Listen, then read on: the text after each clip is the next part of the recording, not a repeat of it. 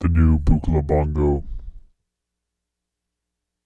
We'll begin with the dual prismatic oscillator frequency modulation bus, adding some linear and a touch of exponential frequency modulation from voltage controlled oscillator A to voltage controlled oscillator B.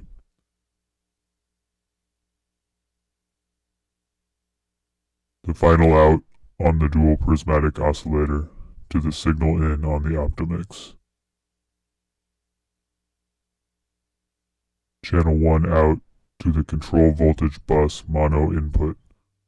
Control voltage bus output to recording interface. Here we have a wave. We'll now frequency modulate it.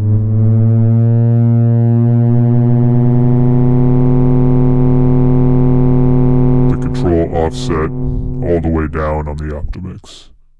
Damp all the way down on the Optomix. We'll use the pressure points channel 3 gate out to strike the Optomix.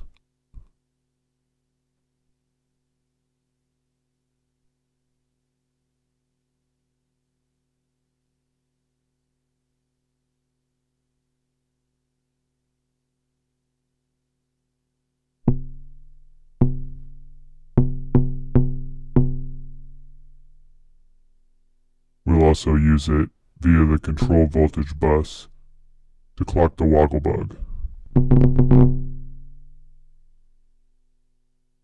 The stepped random voltage out to the 1 volt per octave on the dual prismatic oscillator.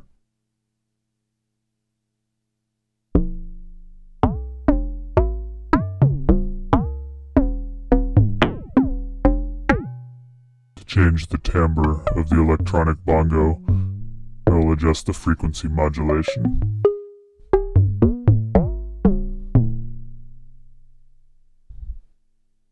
We can automate this with the woggle control voltage out.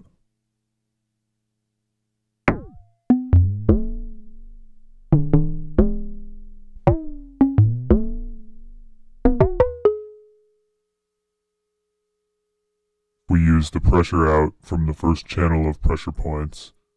We can dampen the ringing of the Vactrols.